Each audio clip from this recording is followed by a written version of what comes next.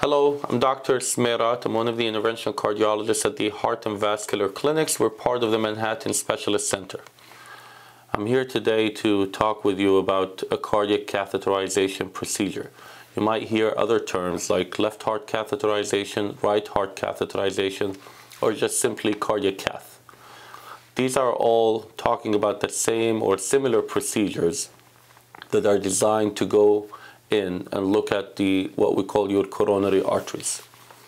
Now, let's take a step back. Think of your heart as a pump.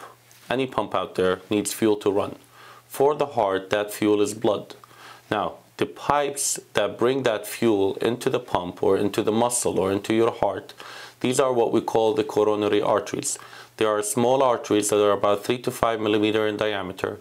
They run outside your heart at the surface and they bring blood into the muscle itself. With different risk factors, whether it's your age, blood pressure, weight, diabetes, cholesterol, smoking, um, sedentary lifestyle, etc., these arteries are pr prone to get sick. There are multiple ways for them to get sick. It's either they start clogging up by cholesterol building up inside gradually over months to years and eventually manifest by you feeling tired, short of breath, or chest pain. Or they would clog up suddenly with a blood clot, and that's when we say somebody had a heart attack. And that's when you go to the emergency room because you felt sudden onset of bad symptoms like chest pain and shortness of breath. There are a lot of other diseases that can happen here, but these are the main ones that we address. So now going back to the cardiac cath, it's a procedure designed to actually go and look at the artery and figure out what is going on in it. The first thing I want you to know about this, it's not a surgery. You're not going to be under general anesthesia. You're not going to be out. There's not going to be a breathing tube down your throat. We give you what we call moderate sedation, which means a bunch of medications that will basically relax you. And if you want to fall asleep, by all means, but then we are able to wake you up and talk to you throughout the whole procedure. Um, the other thing is we basically enter one of the arteries in your body. Uh, most of the times it's either one in your groin or one in your wrist. And we give you a numbing medication in that area and the numbing medication would be the only thing you're going to experience unpleasantly. It feels like a pinch and a burn. It lasts for about a few seconds and then it goes away on its own. Once we numb it, we actually enter the artery via a tube. And then that tube is our gateway inside your vascular system. And your arteries to me are basically like a road map. So I know the road map and I know my destination, which is your heart. So I start driving with small wires and tubes push them across the arteries, let's assume in your hand, all the way until I get to your heart. And then using my tube, I can inject a dye inside these coronary arteries that I want to look at. The dye is going to run inside the artery. It's going to take the shape of the artery. And you notice that you're going to be laying on a bed on your back. There's going to be a machine on top of you. It's going to be moving all over the place. That's really my camera. And it's moving all over the place to take pictures from different angles. This camera is going to see the dye. The dye has already taken the shape of the artery. It will show it to me on the monitor. So technically now I'm looking at your arteries. There are usually four possibilities of what I can find. Number one, your arteries are going to be completely open and healthy. We're done. So whatever theory we thought something might be happen, now we have the good case scenario that the theory was not true and you do not have disease.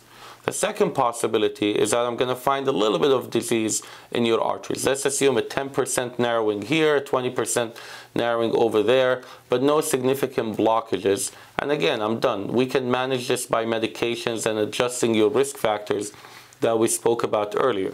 The third possibility is that I go in and I find a significant blockage in one of the arteries that would explain what we were suspicious of in the first place. For example, I find one of the arteries to be 90% occluded, or 100% occluded, or 80% occluded. At that point, I go in and basically I end up being a plumber and I fix that artery for you. And that entails me putting a stent, which is a metal mesh that's just meant to be placed in the artery and keep it open. And the fourth possibility and the final possibility is really the worst case scenario. When I go in and then I end up finding that you have severe disease, multiple arteries involved, dangerous areas involved, critical levels of stenosis, at which point usually we take a step back and try to look at the bigger picture. Sometimes we might fix a part of the problem, leave the rest for later. Sometimes we might say, um, we need to get out now, plan for a complicated procedure, and then come back later, whether it's in this hospital or a different hospital. Sometimes it might be that we need to refer you to a cardiothoracic surgeon to consider open bypass surgery because that would be a better solution for your problem. And not to say that that's what happens all the time, but these are the four possible um, pathways, I would say, that we usually go across when we do a cardiac catheterization procedure. The procedure is a safe procedure. It's a common procedure. It takes about 45 minutes to one hour, but depending on what technical challenges we face or what we might have to fix, it can be a two or three or even sometimes four hour procedure. Most of the time, I can tell you, we're done within one hour. The other thing I'd like to discuss with you about the cardiac catheterization procedure is the access site. The destination, we know it, it's your heart. How we're going to get there we can enter from multiple areas, whether it's on the right side of your body or the left side, whether it's your groin or your wrist. There's been a lot of literature looking and trying to figure out which is worse, which is better, and really they're both valid. Um, the wrist is more convenient for you as a patient because if I go through your groin, usually that entails after the procedure you have to continue laying on your back for minimum of two hours and it can go all the way up to six or 12 hours after that. If I go through your wrist, obviously once we're done, everything comes out. You get a band around your arm. The band will hold the artery, stop it from bleeding. It stays on for two hours. You're free to eat. You're free to sit up in those two hours. And then the band goes off and then you're able to go home or continue your admission at the hospital.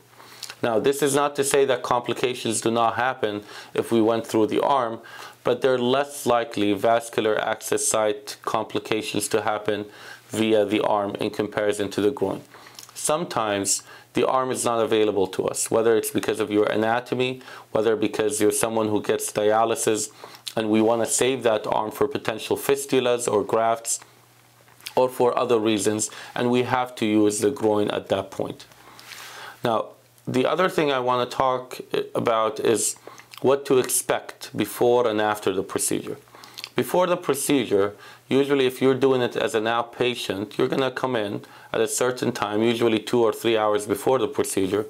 The nurses will receive you. They're going to connect you to the monitors, establish an IV access line so that we can give you drugs through that. And you'll basically just sit there and wait um, until the procedure time comes along, at which point the cath staff are going to come and take you to the cath lab. Your family usually has a family waiting room where they can wait, and I usually come out after the procedure and speak with them. Um, you get sedation in the cath lab. Sometimes, if some patients are really anxious, we give you some sedation before you go to the cath lab. After the procedure, Usually you come out of the cath lab, you go back to the same room you were in. Sometimes maybe we, you're going to need an admission and you're just going to go to your admission room at the hospital. And like I said, if we access your groin, you're going to have to lay flat for a while. If we went through your arm, you're going to have a band around it. Usually if we took you and we didn't find anything, I didn't fix anything, we didn't get complications, you're going to go home the same day. However, if we get a complication or if we fix something, usually we want to admit you and observe you at least for a minimum of 24 hours after the procedure. So I hope this answers some of your questions, at least about what a cardiac catheterization is and what happens through that experience.